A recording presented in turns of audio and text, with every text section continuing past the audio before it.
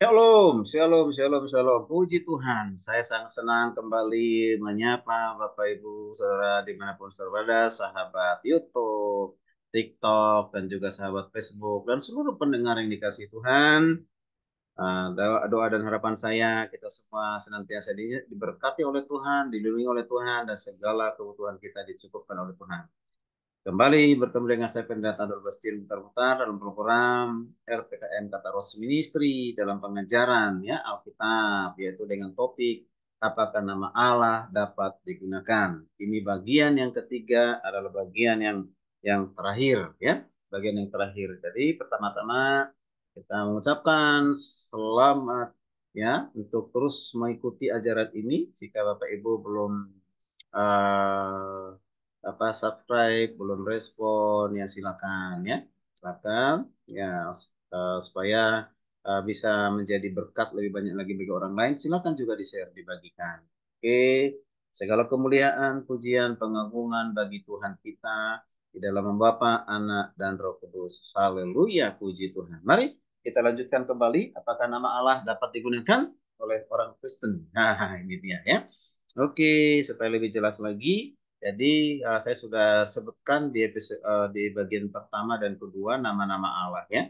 Nah, jadi uh, sekedar hanya mengulang secara tepat ada nama Elohim, ada kata nama El, ada nama Eloa, ya ada kata ada kata Ela dan juga ada kata Yahweh atau juga kata uh, ada Yahweh, ada Adonai dan sebagainya. Oke, nah itu sudah dijelaskan semua. Bagi yang belum pernah mengikuti, ya ya silakan. Silakan dibuka jadi kataros RPKM kataros ministry bagian itu apakah nama Allah dapat digunakan di bagian satu dan bagian dua supaya bisa nyambung ya. Oke sekarang uh, kita lanjutkan dari mana asal muasal atau dari mana asal usul dari yaitu kata nama Allah ya. Sekali lagi dari mana asal muasal kata Allah itu? Ya oke saya akan jelaskan ya saya akan jelaskan secara singkat. Mudah-mudahan ini bermanfaat bagi kita semuanya. Nah, tadi kita ini yang pertama ya kita perhatikan nama diri Allah yaitu El ini yang uh, disebut sebagai nama Elo ataupun bisa disebut dengan monoteis ya monoteis ya monoteis ya, atau uh, sebagian yang menentukan kepada Allah itu Esa ya Nah, Abraham itu kemudian terus-menerus dipercayai keturunan Abraham dan Hagar yakni Ismail. Nah, nama El itu kemudian berkembang ya dalam dialek Arab sebagai Allah. Perhatikan ya. Oke, jadi tuh keturunan ya keturunan Abraham termasuk keturunannya dari istrinya Hagar ya ibu dak itu Ismail. Nama El itu kemudian berkembang dialek bahasa Arab ya sebagai Allah atau sering disebut dengan Allah begitu ya. Nah, penulis di dalam uh, ini kita perhatikan ya. Nah, penulis ini menjelaskan bahwa apa? Uh, coba kita perhatikan ya kata Allah itu berasal dari bahasa Arab ya sekali lagi kata Allah itu berasal dari bahasa Arab yang dipakai oleh orang Muslim dari berbagai bangsa untuk menyebut satu-satunya Allah yang benar. Jadi kalau kita melihat di sini berarti sebelum sebenarnya sebelum ada agama Islam ya sebutan nama Allah itu sudah ada. Berarti kan ya sebelum ada lahir ya lahir ataupun ada agama Islam nama Allah itu sudah digunakan oleh keturunan siapa? Keturunan ya uh, Ismail. Nah perhatikan di sini ya. Nah kata ini merupakan kata dari gabungan ya. Dari kata yaitu ya itu yaitu disebut dengan al dan ilah ya. Al dan ilah ya. Nah kata al adalah uh, ini disebut sebagai uh, definit uh, artikel, ya definit artikel, ya. Nah, kata Allah itu ditemukan ya inskrip inskripsi ya inskripsi inskripsi yaitu atau disebut dengan monumen dari batu di Syria ya di Syria dan Arab pada masa sebelum munculnya agama Islam. Ya lagi. Jadi kata Allah itu ditemukan di mana? Di inskripsi inskripsi atau monumen dari uh, dari batu di Syria dan juga Arab pada masa sebelum munculnya atau sebelum lahirnya agama Islam. Oke. Nah, jadi nama Allah itu berasal dari Allah. ya Allah gitu ya. Atau il al ilah ya. Al ilah ya. Nah yang yang berarti apa? The God ya. The God. Nah nama ini merupakan sebutan standar dalam bahasa Arab. Untuk apa? Untuk God ya ya untuk God nah kata ini dipakai baik oleh masyarakat Arab yang beragama Kristen dan juga beragama Islam sampai hari ini ya sampai hari ini jadi di Arab itu kan banyak orang Kristen juga. Ya, bahkan sekarang kita lihat lagu sudah banyak lagu-lagu rohani bahasa Arab ya. Nah, sudah banyak mereka juga menggunakan KKR itu. Kita bisa dapat di dapat gampang itu dapat kita di YouTube itu lagu-lagu rohani Kristen bahasa Arab ya. Mereka menggunakan kata Allah juga ya kan? Apakah mereka sesat? gitu ya. Nah, perhatikan. Kita lanjutkan. Ya, jadi jelas nama nama itu juga digunakan oleh masyarakat Arab yang beragama Kristen dan juga yang beragama Islam. Ya. Kemudian perhatikan, ada kata pesita. Ya, pesita dalam Alkitab diterjemahkan bahasa Aram Syria. Ya. Nah, kitab ini ditemukan pada awal abad kelima atau dua abad sebelum agama Islam lahir. Dari dua abad sebelum agama Islam lahir. Nah, di dalamnya dituliskan kata Allah. Allah untuk menyebut apa? Itu untuk menyebut El atau menyebut Elohim atau menyebut Eloah. Nah, nah ini membuktikan bahwa jemaat gereja ortodoks Syria telah lama menggunakan nama Allah. Itu harus kita tahu. Jadi orang Kristen atau gereja ortodoks Syria telah menggunakan nama Allah. Ya. Nah, namun pada masa disebut dengan masa jahiliyah, jahiliyah di Mekah, nama al-ilah itu kemudian mengalami kemorosotan pemahamannya. Ya. Nama itu dipakai untuk menyebut dewa air atau dewa-dewa lainnya. Nah, seperti dewa bulan, dewa gunung. Jadi jadi bukan ini awalnya. Ini sebut nama ini satu kemerosotan setelah jauh sebelum itu nama nama Allah itu sudah digunakan mulai dari keturunannya uh, siapa yang tadi dikatakan uh, Ismail ya, ya Ismail dan seterusnya digunakan ya. Nah, jadi bukan langsung nama air gitu, nama dewa air bukan.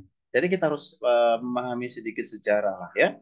Oke, nah kalau kita perhatikan ada menurut Dr. Daud ya, ya, ya Susilo, ini seorang konsultan lembaga Alkitab di sedunia uh, mengatakan bahwa kata Allah dalam Alkitab diterjemahkan dalam bahasa Melayu dan juga bahasa Indonesia.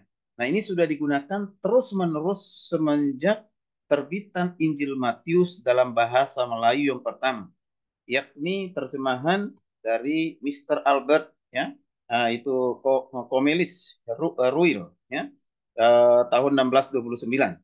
Nah, begitu pula dalam terjemahan Alkitab bahasa Melayu pertama oleh Mr. Eh, Melchior ya, ya Melchior ya Melchior yaitu tahun 1733 ya. Dan terjemah Alkitab Melayu yang kedua oleh Mister yaitu dengan Hillebrandus ya, Cornelis ya. Ya, Hillebrandus Cornelis. Ini tahun 1879. Ini yang digunakan sampai saat ini, sampai sekarang ini. Nah, nah setelah kita mengetahui semua uraian tadi di atas itu, dari mana asal usulnya nama Allah itu, ya maka eh, saya akan memberikan suatu kesimpulan ya. Untuk kesimpulan dalam penutup ini ya. Oke yang pertama adalah sang pencipta pernah memperkenalkan dirinya kepada manusia dengan memakai berbagai nama yang dipahami oleh manusia dan juga dipahami oleh berbagai bangsa ya nah itu jadi bukan bahasanya Tuhan justru bahasanya manusia yang dipahami dan mengerti oleh manusia. Nah, di dalam Alkitab pernah menamakan dirinya sebagai apa? Ya, sebagai El, sebagai Elohim, sebagai Eloah, Elah, ya, Adonai, Yahweh, Theos, dan Kurios. Nah, itu. Jadi nama ini ada semua dalam Alkitab. Jadi jangan kita katakan nama satu-satu yang benar hanya Yahweh. Pahami Alkitab dengan baik, ya. Sekali lagi dengan uh, biblikal, sistematis, uh, kita lihat uh, seluruh secara keseluruhan, ya. Jadi jangan kita menjadi fanatisme dengan nama itu sehingga kita tidak melihat ada nama-nama yang lain, ya. Oke. Nah, di dalam yang kedua, kesimpulan kedua, di dalam uh, masyarakat Arab, sang pencipta itu dipanggil dengan dengan nama Allah. Allah atau Allah ilah al ilah ya. Nah, jadi digabung dengan jadi Allah atau Allah. Nah, dalam masyarakat Cina disebut dengan nama Sangti ya, Sangti ya. Orang yang berbahasa Inggris menyebutnya apa? Sebagai God.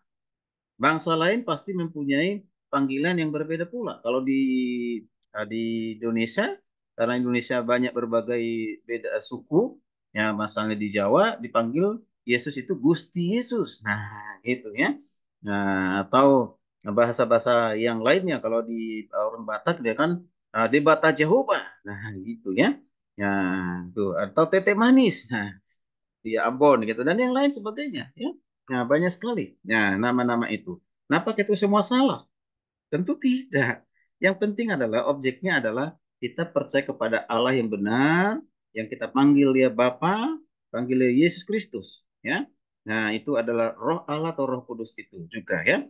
Nah, itu yang kesimpulan yang yang kedua. Kesimpulan yang ketiga, apa pun nama panggilannya yang terpenting adalah apakah ada pemahaman yang benar tentang pribadinya Allah itu. Adakah persekutuan pribadi antara umatnya dengan dirinya? Seperti apa dikatakan oleh Rasul Yohanes juga pernah menggunakan kata apa? Kata logos yang telah dipahami oleh masyarakat Yunani beberapa abad sebelum Injil diberitakan kepada mereka.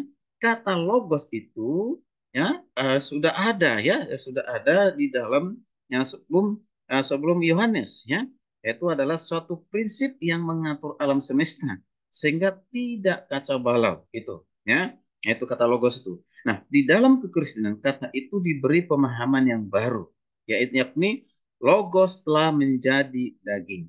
Sekali lagi logos menjadi daging atau menjadi satu pribadi yakni Tuhan Yesus Kristus. Tuhan Yesus yang adalah firman itu yang telah menjadi manusia ya. Sangat terkenal dengan Yohanes 1 ayat 12 ya. Firman itu telah menjadi manusia ya. Oke, kesimpulan yang keempat. Nah, kesimpulan yang keempat, nah dari Alkitab kita mengetahui bahwa Sang Pencipta itu hanya dapat dikenal dan dihubungi secara pribadi di dalam diri Tuhan Yesus Kristus. Ya, sekali lagi kita bisa mengenalnya secara pribadi di dalam diri Tuhan Yesus Kristus. Nah, maka dikatakan di Yohanes 14 ayat 9b, ya, sangat jelas Barang siapa telah melihat aku, ia telah melihat Bapa. Maksudnya barang siapa telah melihat Yesus, ia telah melihat Bapa. Nah, bisa juga kita baca di Yohanes 17 ayat 3, 1 Timotius 2 ayat 5 mengatakan hal yang sama, ya. Nah, jadi Tuhan menentang orang-orang yang sering, menyebut namanya, tetapi sebenarnya tidak mempunyai hubungan pribadi dengannya. Percuma gitu ya. Nah, kalau nggak punya hubungan pribadi dengan dengan dengannya, ya mau sebut nama apa pun itu ya tetap aja sia-sia dan gunanya ya oke jadi jangan sia-sia untuk menggunakan nama Tuhan ya oke nah kesimpulan yang berikutnya yang kelima ya perhatikan baik-baik di dalam Alkitab nama bukan sekedar nama tetapi nama itu menunjuk kepada pribadi orang itu ya misalnya nih nama Nabal adalah 1 Samuel 25 sampai ayat 25 apa 1 Samuel 25 25. Nama Abraham yaitu sama dengan bapak dari banyak orang. Kemudian nama Yesus artinya juru selamat. Nah, di dalam Keluaran 34 15 yaitu Yahweh atau YHWH memberi nama lain bagi dirinya yakni disebut dengan cemburuan ya. Nah, cemburuan, Allah yang cemburu gitu. Jadi maksudnya di sini apa? Pribadinya cemburu ya pribadi, eh, pribadinya cemburuan. Nah, dia tidak mau umatnya itu menyembah Allah lain atau menyembah dewa-dewi. Jangan gitu ya, maka dikatakan cemburuan. Jadi hanya Tuhan Abraham, Ishak, Yakub, Tuhannya bangsa Israel, Tuhan yang telah menyatakan diri dalam Kristus Yesus, dialah Tuhan yang harus kita sembah. Oke? Nah, yang harus kita puji, yang harus kita imani ya. Nah, syarat utama untuk menjadi anak-anak Allah adalah percaya dalam namanya. Percaya dalam nama siapa? Percaya dalam nama Yesus. Maksudnya, memiliki persekutuan pribadi dengan dia. memiliki persekutuan pribadi dengan Tuhan Yesus. Kapan itu? Ketika kita dikaruniakan percaya kepadanya, ketika kita dikaruniakan iman kepadanya, kita punya hubungan, punya persekutuan dengannya. Ya. Nah, oke, okay, jadi kesimpulan yang terakhir. Yang terakhir ya. Nah, jadi Bapak Ibu Saudara kasih Tuhan, orang Kristen di Indonesia boleh saja memakai nama Allah. Sekali lagi, orang Kristen di Indonesia boleh saja memakai nama Allah di dalamnya menyebut diri sang pencipta atau penebus dan pemelihara hidup kita. Siapa dia? Tuhan Yesus adalah satu-satunya perantara di antara Allah yang benar dengan manusia berdosa. Tuhan Yesus adalah satu-satunya perantara di antara Allah benar dengan manusia yang yang berdosa. Ya, sekali lagi ini menjadi kesimpulan yang terakhir, menjadi ajakan bagi Bapak Ibu saudara kasih Tuhan, yaitu ya mari kita ya, jadi jangan menjadi anti dengan menyebut nama Allah itu Allah uh, apa namanya yang sebut nama Allah itu adalah nama dewa, uh, dewa air orang Arab. Nah, jauh sebelum itu nama Allah itu sudah digunakan oleh uh, Kristen Ortodoks ya. Sebelum agama Islam nama Allah itu sudah ada Bapak Ibu. Jadi boleh nggak menggunakan nama itu? Boleh saja. Tidak mempengaruhi imanmu atau membawa kau itu masuk neraka tidak. Ya, yang penting objek iman kita sangat jelas. Yang Allah yang kita panggil itu adalah pencipta langit, bumi dan segala isinya. Dan ini penebus dari pemelihara yang kita kenal di dalam Yesus Kristus ada satu-satunya jalan keselamatan. Ya, dialah Tuhan yang benar. Ya, dialah yang menyelamatkan manusia berdosa. Puji Tuhan. Kiranya semua ini bermanfaat bagi kita semuanya. Tuhan Yesus berkati sampai ketemu lagi di pengajaran yang berikutnya dengan topik yang berbeda. Ya, terus dukung ya program ini supaya terus boleh menjadi berkat bagi banyak orang. Sekali lagi silakan di-subscribe dan juga silakan di-share, dibagikan kepada orang lain sehingga lebih banyak lagi yang diberkati dengan pengajaran ini. Shalom. Tuhan Yesus memberkati kita sekalian.